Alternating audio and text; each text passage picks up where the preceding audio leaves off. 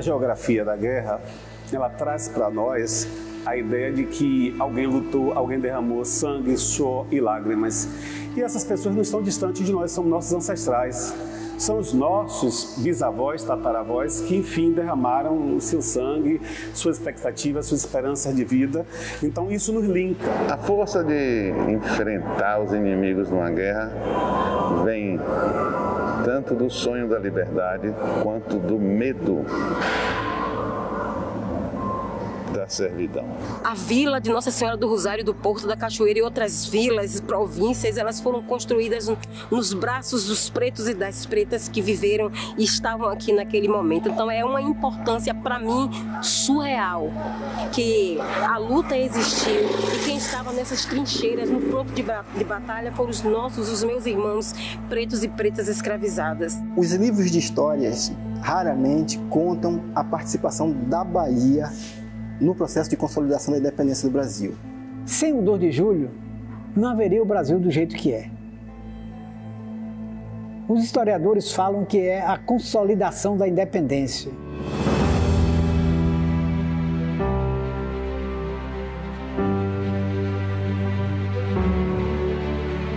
E assim iniciamos mais uma jornada épica pelo 2 de julho data histórica que reflete em nossa alma como o grito de liberdade de um povo valente. São nessas terras que a história ganha vida, lugares belíssimos que se transformaram em cenários marcantes, onde cada pedra carrega o peso das batalhas travadas pela busca da liberdade. Neste programa especial, mergulharemos na Bahia em Guerra para mostrar o palco das principais batalhas que testemunharam a consolidação da independência do Brasil aqui na Bahia.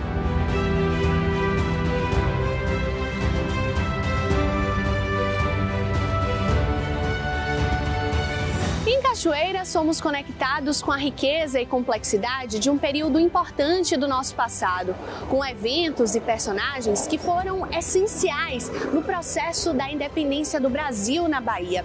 Uma cidade que, com a força do seu povo, foi fundamental na travessia em direção à liberdade.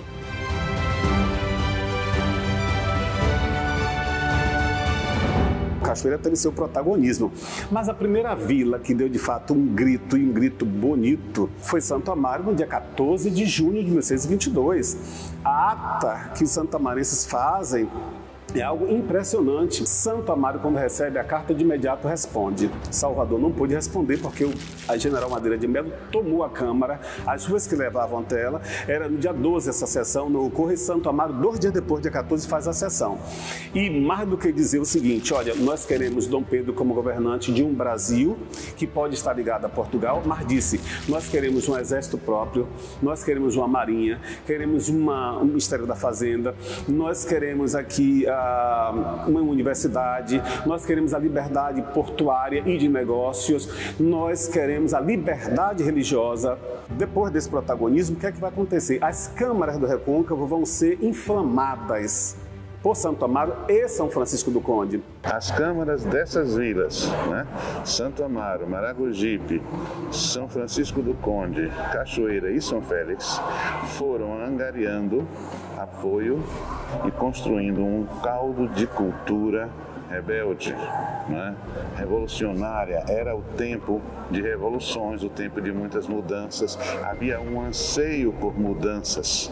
As famílias estão sendo expulsas de lá porque não tem condição de ficar na cidade com o tirano Madeira de Melo lá. As pessoas tinham muito medo do que pudesse acontecer.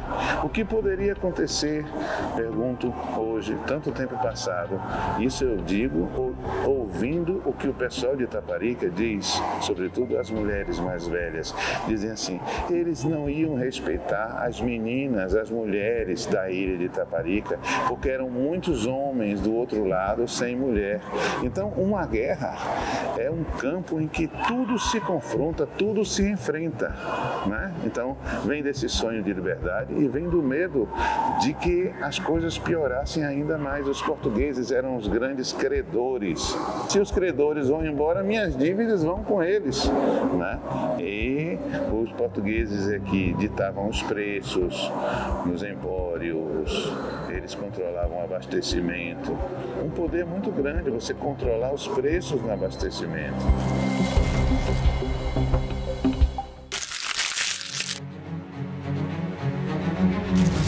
Democracia é o melhor jeito da gente poder falar, ser ouvidas. E sem a democracia, não temos o direito de escolhas. É importante pelo bem de nosso povo, né? Daqui da Bahia, do Brasil. É muito importante até para o nosso convívio também. Né? Faz parte de tudo. A independência da Bahia, quiçá do Brasil, começou na heróica cidade da Cachoeira. Ela concedeu o título de defensor perpétuo do Brasil a Dom Pedro I.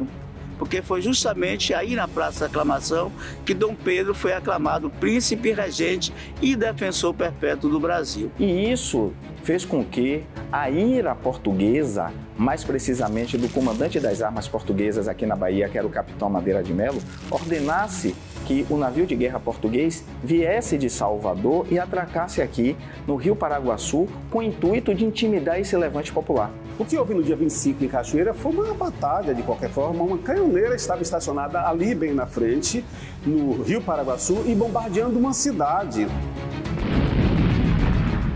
Isso está muito bem explicado no, no quadro de Antônio Parreira. Com certeza, nesse quadro, vocês podem observar o navio de guerra português atracado, atirando contra a população que se encontrava de costas para o navio, comemorando a aclamação de Dom Pedro. O príncipe Pedro está à esquerda, no meio estão tipos os mais diversificados. Tem um frade, tem um padre secular, tem crianças, tem mulheres. E o nosso primeiro herói a tombar pela independência nacional e a tombar pela independência de Cachoeira também está retratado nesse quadro, que é o nosso tambor Soledade. Ele não foi mártir como a Madre Joana Angélica, mas é herói do mesmo jeito. Deu início assim a epopeia, a Batalha do 25 de junho em Cachoeira, onde Cachoeira saiu vencedora, não é? E após essa, essa, essa nossa vitória, esse nosso triunfo, se aglutinou de novo e saímos daqui de Cachoeira, em marcha e a cavalo, perpassando por todas essas vilas do Recôncavo, em batalhas ininterruptas, até a chegada triunfal desse exército que deu início à batalha aqui do 25 de junho, na nossa querida capital Salvador, em 2 de julho de 1823, consolidando assim a independência do Brasil na Bahia. Mas aconteceram algumas batalhas de muita relevância para se vencer a guerra. E foi entre 1822 e 1823 que muitos outros protagonistas surgiram dessa nação miscigenada.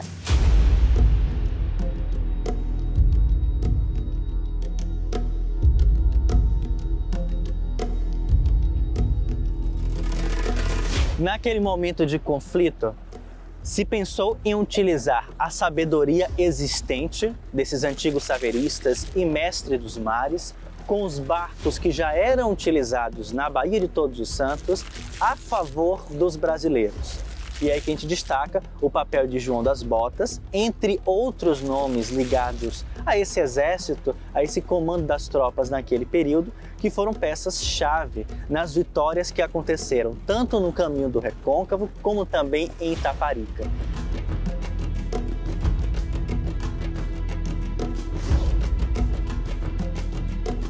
Itaparica tem uma importância inquestionável apesar de ter sido de alguma maneira apagada, subtraída nos relatos históricos que ficaram para falar do 2 de julho. Não foi exatamente uma guerra aberta, mas uma guerra de ocupação, em que a doença assolou, em que a fome assolou. Então, controlar Itaparica envolvia diretamente controlar o fluxo marítimo. Não existiam estradas e não existiam ferrovias. Através de estudos feitos, nós conseguimos identificar 13 cidades que estiveram envolvidas com o processo de independência. Dessas 13 cidades, apenas duas festejam em datas análogas ao 2 de julho. Nós temos o 25 de junho em Cachoeira e Itaparica, o 7 de janeiro, onde os itaparicanos festejam a bravura do seu povo que no dia 7 de janeiro de 1823 conseguiram expulsar as tropas portuguesas do seu território. A gente está falando de uma ilha no meio da Bahia. Então, controlar essa ilha implica controlar fluxo de tropas para o fundo da Bahia, portanto, o acesso ao recôncavo, Cachoeira especialmente, e chegando em Cachoeira, subindo o Rio Paraguaçu, ou seja, o controle do interior do estado da Bahia, hoje, na época, província da Bahia. Muito pouca gente lembra disso, mas em 10 de julho de 1822, Itaparica foi invadida. A fortaleza de São Lourenço, né, o seu sentinela foi morto e todos os canhões da fortaleza foram inutilizados, com a finalidade de que aquele ponto estratégico, aquele armamento não caísse na mão dos rebeldes que aqui já falavam de liberdade. Esse primeiro momento, eu acho que Madeira de Melo, ele quis mostrar em Itaparica aquilo que aconteceria com quem ousasse se insurgir contra as cortes de Portugal. E eles quiseram fazer de Itaparica uma espécie de vitrine quiseram mostrar, olha, é isso que acontecerá contra quem se insurgir. Então a tomada de, de, de Itaparica, mais precisamente a expulsão dos portugueses, tem uma importância em termos de alimentação e como uma tomada de um ponto fundamental do deslocamento marítimo dos saveiros, das, dos barcos de guerra portugueses. Naquele momento, os patriotas itaparicanos eles precisaram estrategicamente recuar. Muitos foram se juntar a esse governo paralelo que se criou em Cachoeira e de lá eles se reorganizaram e, inclusive, contrariando a ordem do governo de Cachoeira, eles decidiram retomar a ilha de Taparica e reconquistar o território. Primeiro, porque defendiam o seu torrão natal. Segundo, porque eles compreendiam a importância estratégica que Itaparica tinha. Então, quando a gente pensa em estratégia de guerra de um período de um ano, um ano e meio, essa tomada ela assumiu o papel de uma progressão que foi desembocada no 2 de julho. Quer dizer, sem o 7 de janeiro e sem o impedimento do desembarque dos portugueses no entorno do Forte de São Lourenço em Itaparica, não seria possível, muito provavelmente, a saída definitiva dos portugueses de Salvador. Nós temos a missão de manter viva uma história de mostrar para o mundo que a independência do Brasil não foi um fato único que ocorreu no 7 de setembro e muito menos no 2 de julho. O 2 de julho é a soma de ações que ocorreram no interior da Bahia. Eu faço questão de destacar a participação de Itaparica no 7 de janeiro. O 2 de julho foi a consequência, foi a soma de todos esses esforços pelo ideal de liberdade.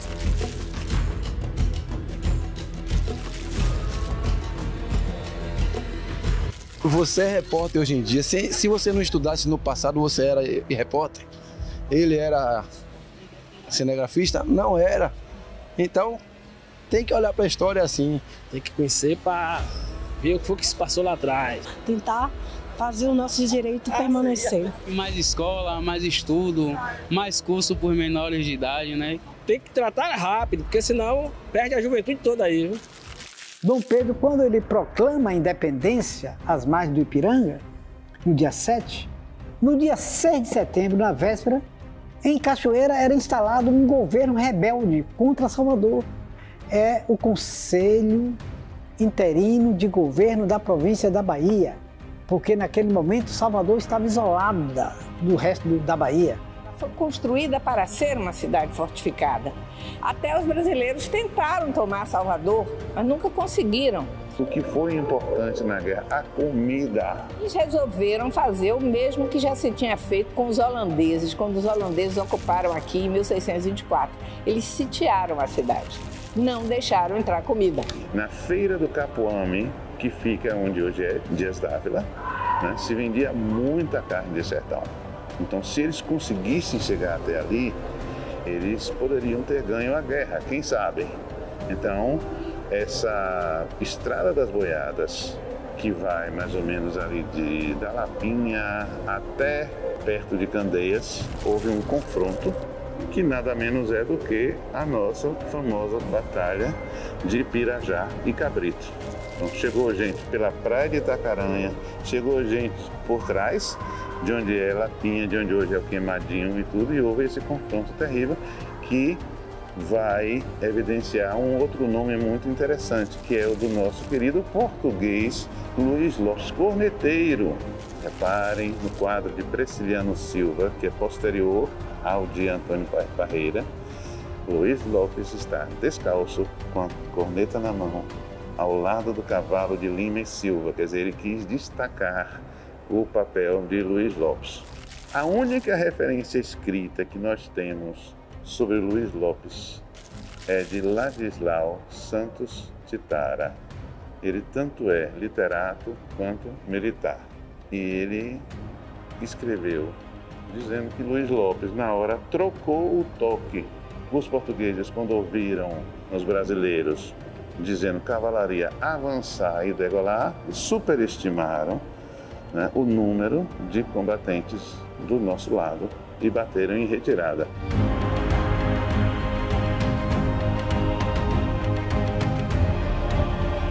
Salve o 2 de julho, a data que orgulha a Bahia. Vamos para um rápido intervalo e voltamos já.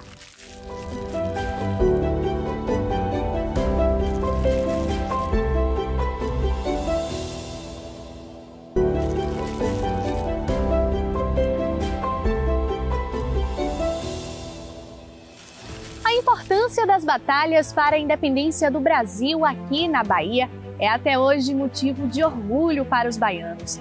Vamos continuar acompanhando essa história.